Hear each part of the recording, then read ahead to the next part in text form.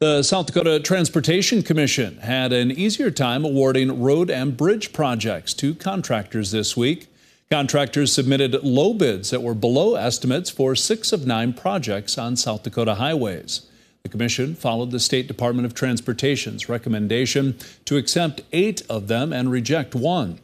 The lower bids are a change from a previous round when bids came in higher than the project's estimated cost. KELOLAND's Bob Mercer explains how a DOT meeting with contractors may have helped. That's on a Capital News Bureau page right now.